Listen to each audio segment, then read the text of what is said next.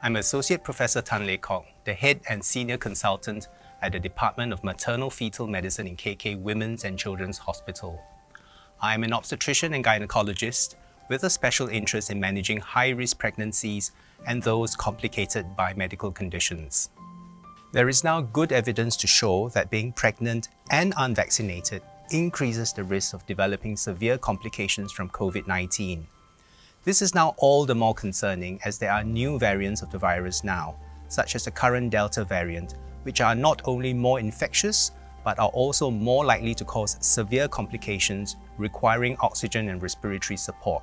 We now know that pregnant women over the age of 35 with a body mass index of over 30 and who have pre-existing comorbidities like diabetes and high blood pressure are more likely to develop severe symptoms from COVID-19. This is relevant to Singapore as we have one of the world's highest rates of diabetes in pregnancy or gestational diabetes, affecting about 1 in 5 pregnant women. COVID-19 is also more severe if pregnant women are infected in the third trimester. We now know from international data that for women who have symptoms from COVID-19, about half will have cesarean births, one in four of them will have a chest infection or pneumonia, one in five will need respiratory support, and one in 10 will need intensive care. With the Delta variant that is highly infectious, these proportions have increased even more. One in three have pneumonia, one in eight need intensive care, and even deaths have been reported. Indeed, in the UK, one in six of the most critically ill patients are unvaccinated pregnant women with COVID-19. Our worry is that this is beginning to be mirrored in Singapore, with increasing numbers of unvaccinated COVID-19 positive pregnant women being admitted to our hospitals compared to last year, and an increasing number requiring respiratory support. Currently, over two-thirds of our COVID-19 positive pregnant women are in their third trimester. Although the majority of these pregnant women experience mild symptoms, these were mostly unvaccinated women who developed complications like pneumonia and required oxygen support and close monitoring. The average length of stay for these women is about two to three weeks if unvaccinated. Besides the patients that I see at KKH's clinics, I have also been giving talks on COVID-19 in pregnant women and the importance of vaccination in the community. A lot of pregnant women tell me that they have many concerns, and the most common questions are, can I take it later? Is it safe or effective? And will it affect my baby? And can I wait and see? These are valid questions, and through this video, I hope to address them. Pregnant women are at increased risk for severe pregnancy complications if infected with the virus they are twice as likely to need intensive care compared to non-pregnant women and 18 times more likely compared to non-infected pregnant women. The latest data also shows an increased risk of preeclampsia, high blood pressure in pregnancy, as well as increased risk of stillbirth, although this is still relatively low. COVID-19 may cause the pregnant woman to develop blood clots in the veins which could result in a life-threatening blood clot in the lungs, which blocks blood flowing through for gas exchange. One in three symptomatic COVID-19 positive pregnant women will have a preterm birth. This is not because COVID-19 causes the woman to go into early labor, but because doctors have to deliver the baby much more early as the mother is very unwell and delivering the baby will relieve the womb and the burden on the stressed heart and lungs.